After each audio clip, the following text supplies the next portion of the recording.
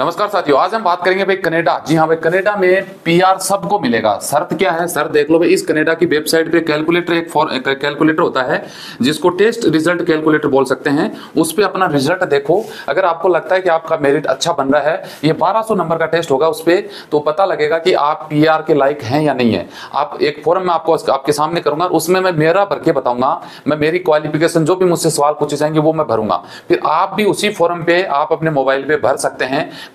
क्या अनुभव मुझे है, वो हो सकता है आपको नहीं हो, आपको वो मुझे नहीं है। तो इस पर हम डिटेल से बात करेंगे। जैसे जैसे मैं भरूँगा उसको आप भी भर के और फिर सबमिट कर सकते हैं। आपको कितना 1200 में से कितने अंक आपके आते हैं, जिसमें हाइएस्ट एग्ज़ाम्पल के तौर पर समझो कि भाई कैलकुलेटर फॉर्म जो है, वो 1200 अंकों का होता है। जैसे आपका एग्ज़ाम होता है स्कूल में टॉपर कौन है? मेरिट कौन है? स्कूल में जैसे पूरी स्कूल में दस बच्चे हैं, उसमें से टॉपर थ्री रहेंगे। वन टू थ्री या फिर क्लास में कितने टॉपर हैं? सौ बच्चे क्लास में सौ बच्चे हैं तो उसमें टॉपर कितने हैं? तो टॉपर मेरिट के आधार पर इस पर नंबर आने वाला है पीआर अगर मेरिट में नंबर आता है तो सबको पी मिल सकता है। तो चलिए शुरुआत कर लेते हैं। वीडियो अच्छा लगे तो लाइक शेयर करिएगा, सवाल है तो कमेंट कर सकते हैं ताकि नेक्स्ट वीडियो में डिस्कस कर सके। तो चलिए शुरुआत कर लेते हैं। तो भाई, यहाँ पे हम देखिए सर्च करेंगे। इसमें आप आप भी अपने मोबाइल में सर्च कर सकते हैं। सी आर एस बाद में एक स्पेस देंगे। सी ए एल कैलकुलेटर इतना लिखोगे तो आपके सामने ओपन हो जाएगा कैलकुलेटर खुल के। ठीक है जी? अब इसमें आप चाहो तो हिंदी में खोल सकते हैं चाहे इंग्लिश में खोल सकते हैं। हम यहाँ पे इसको हिंदी में ओपन करेंगे ताकि हर आदमी को आराम से समझ में आ जाए और भाई मुझे भी आ जाए। तो ये देख सकते हैं साथियों, ये फ़ाइल ओपन हो चुकी है। इसको हम कैलकुलेशन कर इसको हिंदी में कर लेते हैं, ताकि आराम से आपको भी समझ में आ जाए। आप देख सकते हैं, ये ओपन ये ओरिजिनल वेबसाइट है कनेडा की। आप इसको भी आप अपने मोबाइल पे ओपन करेंगे। तो ये डिटेल इसमें बताई गई है, भैया क्या क्या देखिए, ये चीज़ें आपसे मांगी जाएगी। और ये यहाँ से आपकी फॉर्म स्टार्ट हो जाता है। इसमें आप देखें सेलेक्ट में क्या है कि भैया आप शादीशुदा है या नहीं है? तो आप इसमें लिख सकते हैं विवाहित, यानी आप मेरिड हैं और आगे क्या आपका जीवन साथी सामान्य कानून, भागीदार कनाडा का स्थायी निवासी है तो आप इसमें लिख सकते हैं, अगर आपकी वाइफ कनाडा की है तो आप लिख सकते हैं यस या फिर लिख सकते हैं नहीं तो हम लिखेंगे नहीं। अब इसमें आगे ये पूछा है कि क्या आपका जीवन साथी यानी आपकी वाइफ है, वो सामान्य कानूनी भागीदार आपके साथ कनेडा आएगा? यानी आपकी फैमिली है, वो कनेडा जाएगी तो आप इसमें अगर हाँ तो हाँ लिख सकते हैं, ना तो ना यस कर सकते हैं कि हाँ बिल्कुल आएँगे, या फिर आप अपने हिसाब से लिख सकते हैं। क्या आपका जीवन साथी सामान्य कनेडा आपके साथ कनेडा आएगा? इसमें हाँ कर दिया अपन ने। और इसमें आगे अगर बात करें तो आपकी उम्र कितनी है? अब आपकी उम्र भाई कितनी है वो उस हिसाब से आप भर सकते हैं इसमें। जैसे मेरी उम्र की बात करें तो मैं उसमें भर देता हूँ। पैंतीस थर्टी फाइव ईयर्स जी हाँ चौतीस, पैंतीस साल है तो थर्टी फाइव इसमें भर दिया। अब आगे इसमें देख लेते हैं। अब इसमें पूछा है भाई आपकी एजुकेशन क्या है? आपकी एजुकेशन स्तर क्या है? अब तो एजुकेशन सेलेक्ट में का ऑप्शन है।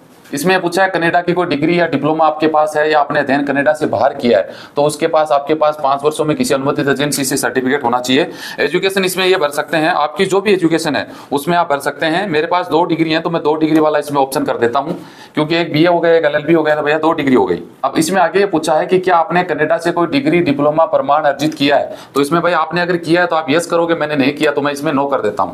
अब इसमें आगे पाँच नंबर पे क्वेश्चन ये पूछा है आधिकारिक आपकी भाषा। कनाडा की आधिकारिक भाषाएँ अंग्रेज़ी और फ्रेंच है। आपको एक्सप्रेस एंट्री के तहत सभी सभी कार्यक्रमों में दो वर्ष से कम पुराने भाषा परीक्षण परिणाम जमा कराने होंगे भले ही अंग्रेज़ी फ्रेंच आपकी पहली भाषा हो। क्या आपके परीक्षा परिणाम दो वर्ष से, से कम पुराने हैं? यानी आपने आपकी जो भी एग्ज़ाम है वो उसको दो साल से ज़्यादा टाइम हो गया होगा तो आप उसमें लिख सकते हैं यस और नहीं हुआ है तो भैया आप नो कर सकते हैं।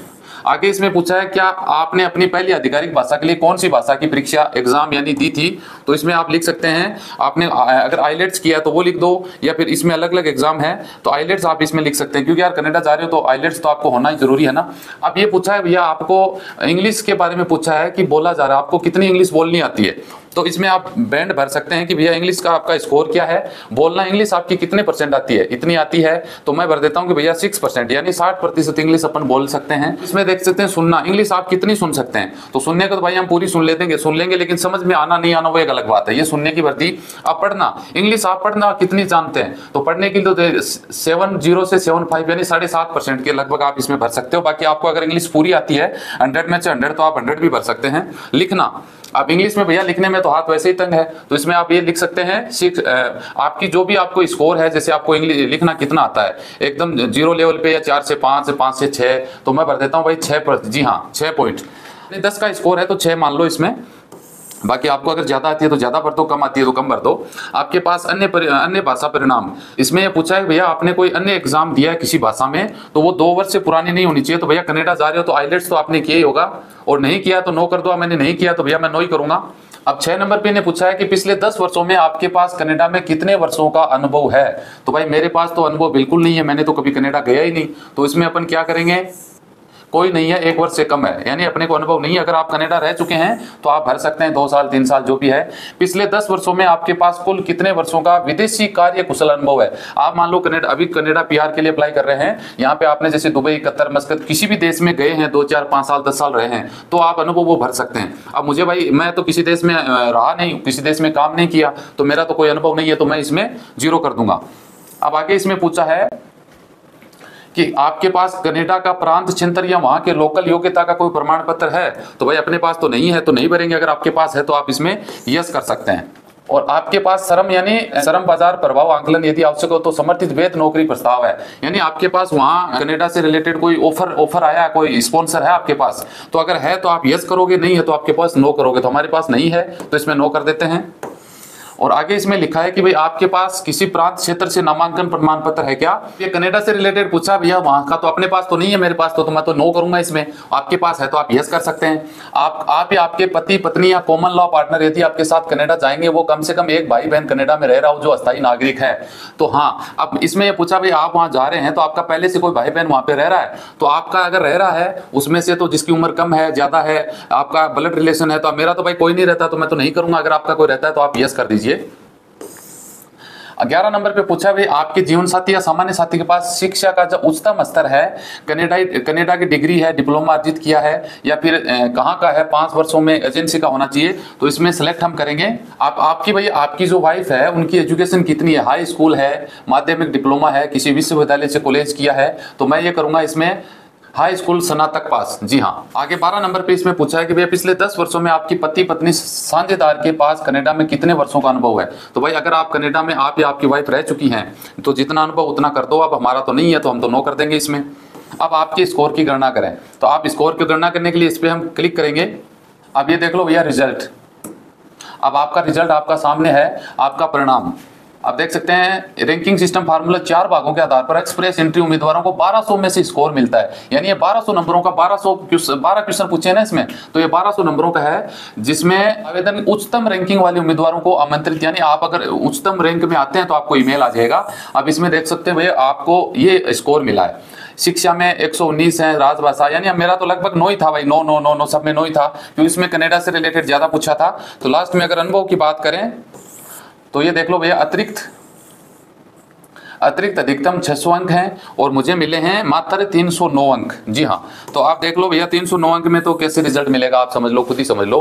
क्योंकि देखिए, ये बेनिफिट ज़्यादा उन लोगों को है जो कनेडा रह चुके हैं, काम कर चुके हैं, या फिर वहाँ पे कुछ अनुभव है, उन लोगों को पीआर लेने में बहुत ज़्यादा आसानी होती है। अब मेरा, हम तो इंडियन बंदे हैं भैया, कभी इंडिया से बाहर किसी देश में जॉब नहीं किया, कुछ किया ही नहीं है तो बारह में से मात्र तीन सौ नौ नंबर आए हैं। और आप यकीन मानो भाई एक्सप्रेस एंट्री में 1200 में से 1000 से ऊपर जिनका नंबर आएगा 1000 नंबर जैसे एग्ज़ाम होती है, सरकार कराती है, मेरिट आता है ना? सेम है बस। 1200 में से 1100 अगर आ गए तो आपका नंबर आ सकता है, क्योंकि क्योंकि कनाडा रहने वाली पब्लिक लाखों में इंडिया की बात नहीं है भैया, और भी पचास साठों कंट्री हैं। वो देश भी इसमें अप्लाई करते हैं, आप भी अप्लाई करते हैं। तो नंबर आना इतना आसान नहीं है जितना हम सोच लेते हैं। लेकिन अगर इसको क्वालिफिकेशन इसको क्रैक कर लेते हैं तो नंबर आसानी से आ सकता है। तो ये कुछ डिटेल थी लाइव मैंने बता दिया। आप भी अपना फॉर्म भर के चेक करें, ताकि आपको कितना नंबर आए पता लग जाए। अच्छा लगा तो लाइक कर दीजिएगा। मिलते हैं नेक्स्ट वीडियो में जानकारी के साथ। जय हिंद, जय भारत।